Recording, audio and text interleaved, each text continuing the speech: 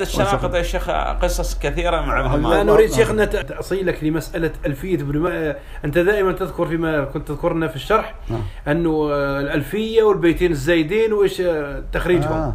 نريد هذا الحقيقة. ابن مالك رحمه الله تعالى يقول أن ألف بيت. نعم. والأقدمون تعرف لا يضعون أرقاما للتسلسل. نعم. نعم. الصباح على جلالة قدره يقول نعم. حدثني بعضهم إن أنه عدها تقل عن الألف بقليل. نعم. نعم. فأنا أقول للطلاب الحقيقة أنه هي ترقيمها الآن عندنا ألف بيت وبيتان. نعم. مثلا قلت اكتشفت فيها بيتين زائدين. نعم.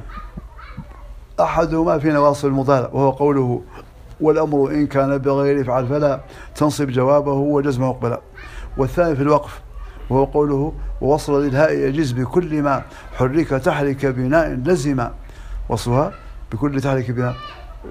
تقول في أعطي هذا بناء لازم تقول أعطيه. والنبي صلى الله عليه وسلم قال لشخص قال له أدنه نعم. وفي القرآن الكريم وما أدريك ما هي. نعم. نعم. هذا بناء بناء لازم نعم. دائم. فوجدت قلت استخ... استنتجت أن البيتين زائدان. نعم. لأنهما ساقطان من بعض النسخ الألفية. ما شاء الله. النسخة التي هي بيت المغرب نعم. شرح عليه المكودي رحمه الله. ليس فيها البيت الأول. الأول. الأول. نعم. وبعض النسخ الأخرى ساقط منها البيت الثاني. لعل حتى نس... المش... الأشموني رحمه الله ليس عنده البيت الثاني. سمعت؟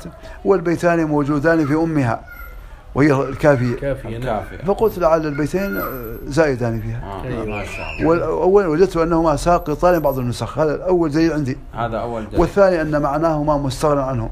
لو انتبه الإنسان لما قبل البيت وما بعده يستطيع أن يعرف معناه دون دون دون, دون فهو من هذا التفصيل لبعض الإجمال. نعم. أيوة. والله ما شاء الله.